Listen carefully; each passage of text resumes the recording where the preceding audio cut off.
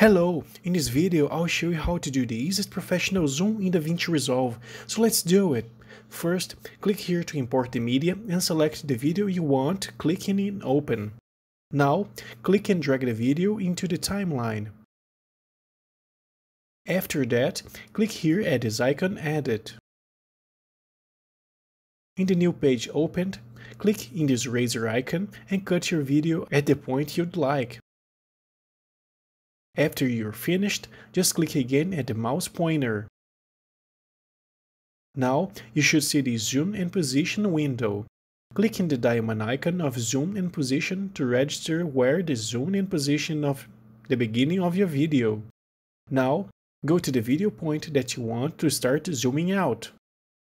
Now that I've got to the point of the video that I want it to be in the end, I can change the values of X and Y in the video here in order to keep the girls in the video on the frame. Here, click again at the diamonds icon of each one of the properties and then, when getting close to the end of the video, double click on every value of X and Y here and set all of them to 1.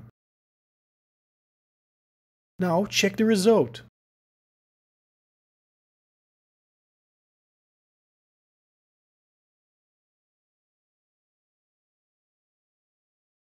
Pretty neat, right? If you liked this video, chances are you will definitely like any of these options.